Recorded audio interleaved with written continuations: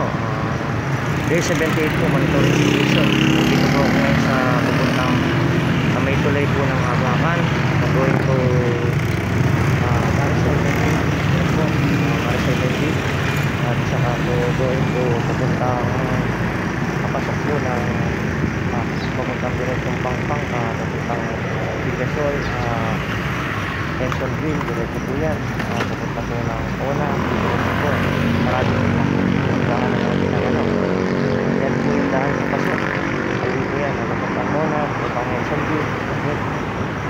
So, ito po, yung puntang Balibago, diretso po yan ang pupuntang Mabalakan. Tulay po ng abakan yan. So, nasa date 78 na po tayo. Ang pagkakaalam ko po, ngayon po yung effective na quarantine ID pass na bago. So, kahapon nagsimula ng, yung iba nagsimula ng mag-start ng pag wala kang quarantine pass sa mga pamilihan, grocery, supermarket, hindi ka makakapasok kapag quarantine pass. So, dumalang yung tao kahapon. Palengke, supermarket, makikita mo lang yung may mga quarantine pass na talaga yung pumapasok, pumupunta. Ayun na, siguro eh, pinatupad na po talaga yung bagong ordinansa nila. Yan po yung ano, yun. So, dumalang po. Pero sa sakyan po, ganun pa rin po yung sistema ng sasakyan. Marami pa rin po. Tuloy-tuloy lang po tayo hanggang day 79 po. Ah, saka hanggang mamaya po hapon sa day 78. Dire-diretso pa rin po tayo sa pagmamonitor sa mga huling oras na dadaan po sa maghapon. So, diretso na po ako. Makapasok po muli. Yung po muli sa Rotonda, Marisol, uh, highway, Rotonda, papuntang Balibago. Ito po yung Abacan Bridge. Marisol Main Gate. Po, sa may 7-Eleven. Diretso po ng Angeles, Henson Street, Rupangpang. Pangali po. Ah, dito po tayo ngayon sa Novo. Ah, General Merchandiser. Kung saan din, isa rin siya pamilihan ng mga accessories, mga damit, at kung ano-ano pa, tiba-tiba. Yan. So bukas na rin po yan, nag-ooperate na rin po. So, yun po. Yung pinatutupad pa rin po, yung new quarantine pass ID po.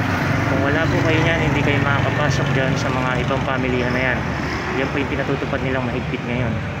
So, tingnan po natin yung ibang area po doon sa lalakarin ko. Ah, sige po, hanggang tanghali po. Sa village, sa perimeter, sa labas ng 167 Mall.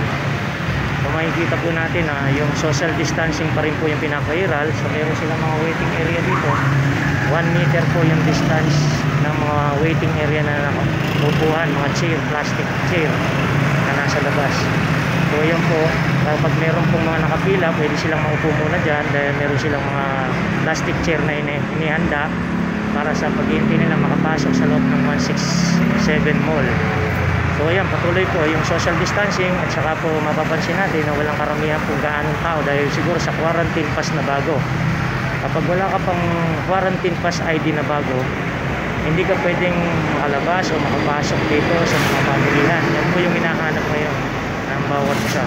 So tuloy-tuloy pa rin po tayo day ah, 78 po monitoring situation dito sa COVID-19 po. So yung mga nakakaano ng quarantine pass natin na bago para lang malaman ng hindi ko kung ano yung karapat dapat na makaano lang nito. Sabihin, dalawang klase po ito. Mayroon dito is yung home quarantine pass na tinatawag. Yung isa worker pass po. Yan.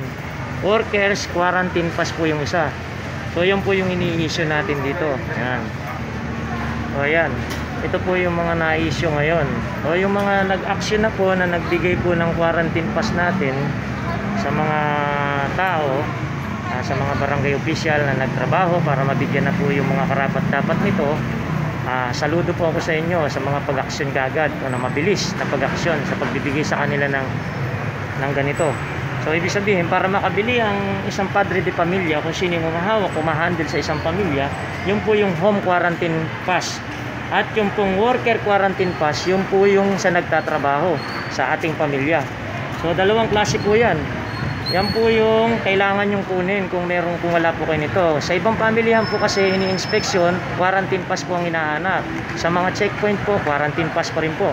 Kaya kailangan po natin to, importante at mahalaga po ito. Kaya po sa mga nagtrabaho at nagbigay na po ng ganito sa mga tao, ang maksyon at ginawa po yung kanilang tungkulin, ibinigay sa mga bahay-bahay, yan po ay sumasaludo ko sa inyo.